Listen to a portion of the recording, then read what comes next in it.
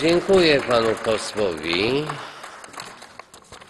Dziękuję za te poprawki i głos zabierze w imieniu ruchu Palikota pan poseł Maciej Banasz.